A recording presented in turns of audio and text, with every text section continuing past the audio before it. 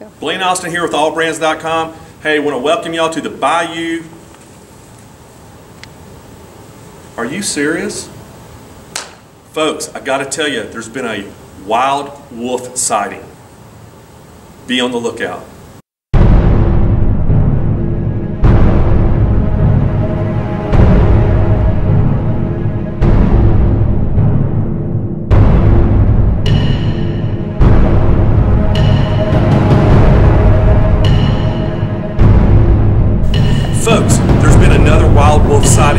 Be on the lookout.